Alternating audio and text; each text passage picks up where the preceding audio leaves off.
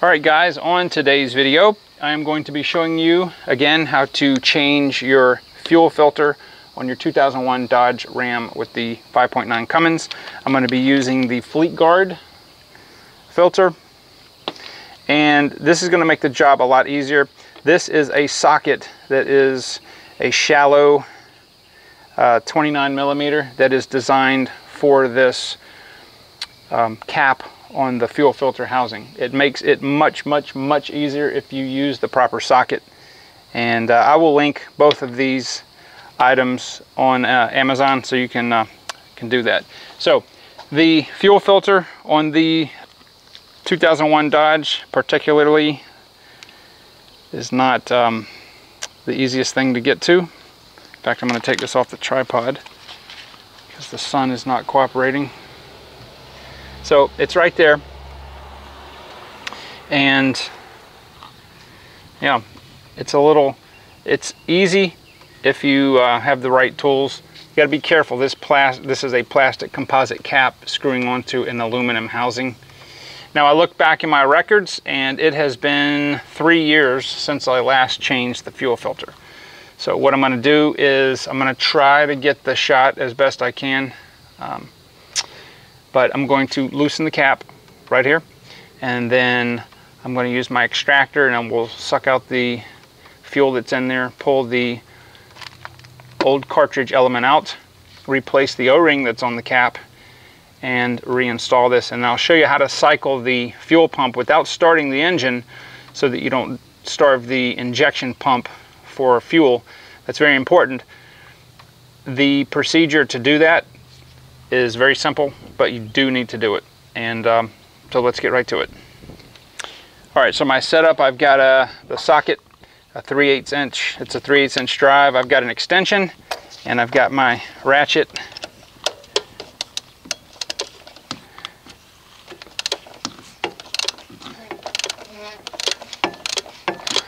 I've seen a lot of these caps stripped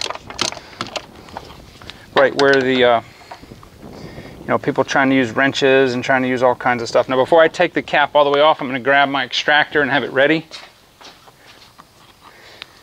And let me grab a paper towel.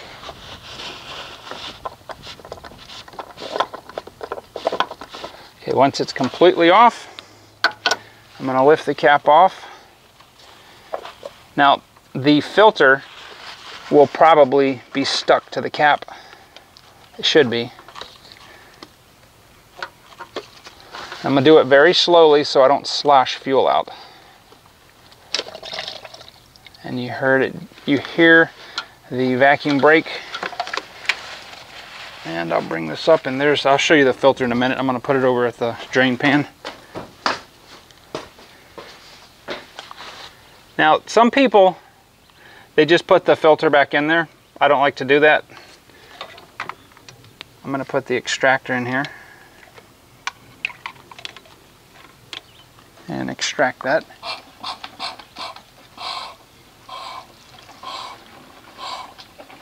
Because I want to see if there's anything on the bottom, any debris or anything.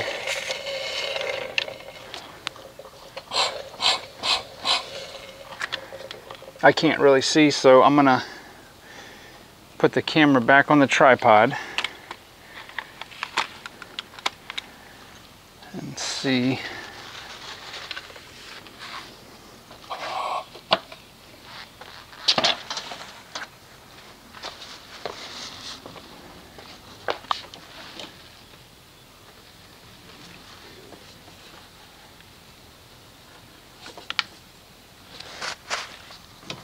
So there is a little bit of grit in the bottom and that's to be expected.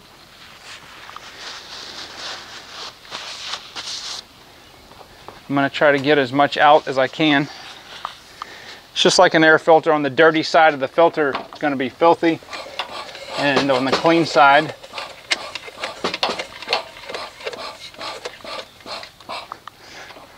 that is the dirty side of the filtration system. So I don't like, definitely, definitely, definitely don't use shop rags. I don't like sticking anything in there, including paper towels.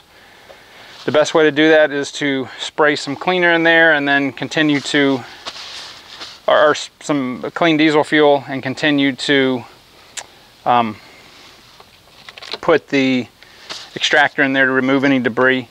It's not a lot. The way this works is that the fuel flow goes from the outside to the inside and then to the injection pump. So uh, that is again the dirty side. But if there's a lot of if there's a lot of debris in there, then go ahead and remove it. All right, so I've got the filter cap with the old filter remove. It just basically these teeth right here grip onto the outer top portion and I'm just going to take my fingernail and remove the o-ring. Always replace the o-ring when you're doing this job. Slide it right off like that. And I'm going to open the new filter. I'm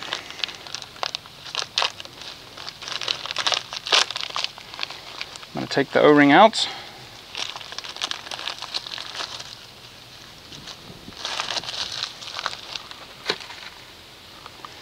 and just lay it in that groove. Just make sure it's seated all the way around. Okay.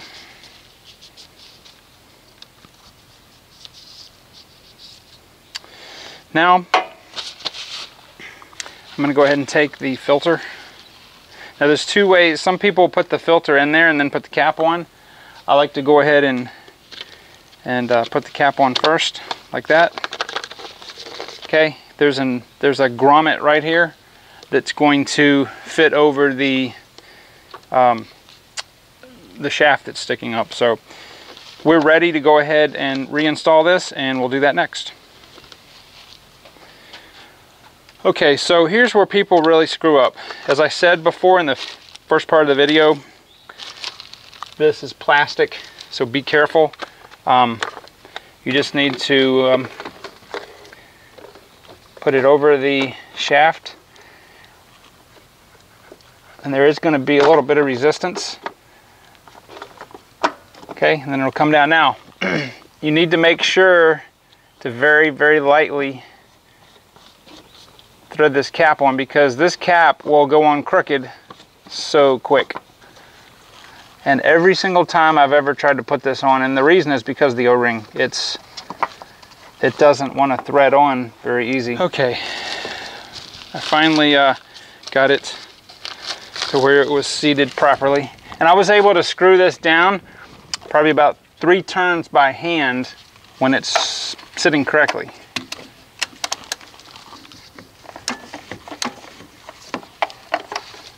If you can't do that, then it's not on correctly. Here is the important procedure. That canister is dry.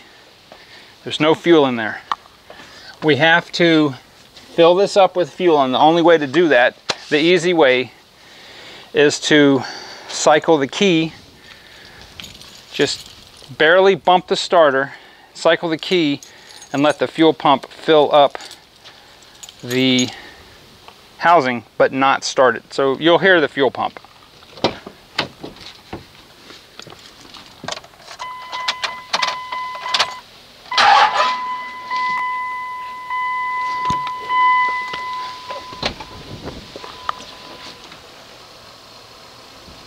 I don't know if you guys can hear it running with all the wind. This is an aftermarket FASS pump that's a thousand times better than the old Carter that was in here.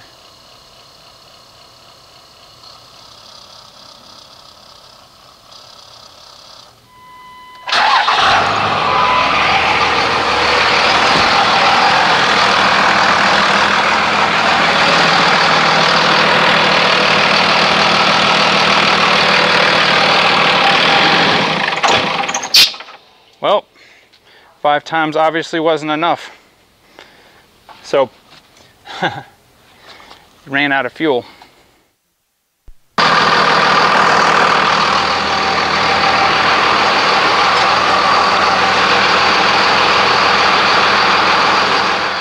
All right, so she's back up and running. The reason I showed you guys that and don't edit that out is because that's going to happen to you. I like to try to keep everything real and show you guys what really can happen. So what the way that I fixed that was I didn't actually have to bleed it. I at the injectors, I just cycled the fuel pump five more times and then cranked it about 10 seconds twice and it fired right up. Um, that happens from time to time. It just depends. Uh, I don't I don't know how old that pump is. I will do a, a, fuel test on that when I dig my gauge out and see what what we're putting out. But it happens. Uh, don't panic when it happens.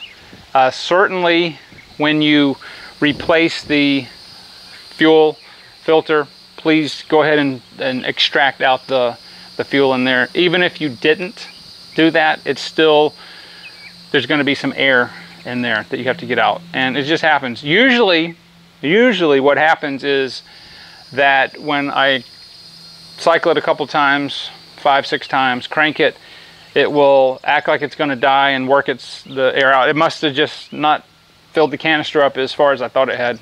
No big deal. Uh, it's not going to hurt the vehicle at all. The problem is if you have a Carter pump and you do this and it just doesn't make any pressure, you can crank till the batteries die and it's not going to stop. I have had times where I have replaced the fuel filter and I just couldn't get it to prime the filter housing and I ended up having to replace the pump because the pump was tired. What what happens on that is that the pump the last time the filter was changed was enough to fill it up and then as the pump slowly degrades and you never open it, there's never any air in there and the injection pump is strong enough to pull, to continue to pull fuel from the tank. That's not how it's designed. It's not good for it. That's why they have the booster pump on there to draw the fuel from the tank and pressurize the housing and the up to the injector and then the injector takes over. Um, but yes, I've replaced many a Carter pump. I'll never use Carter again. The FASS pump that I've got on there is a replacement for the Carter and it fits exactly in the same um, mounting bracket, same connectors, fuel connectors, everything. It just looks different. It's not a, it's a different style. I think the Carter is a rotary and this is a maybe a diaphragm. I don't know. Anyway, but it, it's been on there and I've never had to had any problems with it yet. Anyway, so uh, that's how you do the fuel filter change and the possible things that can happen. No big deal. Just work with it, be patient, and I will see you guys on the next video.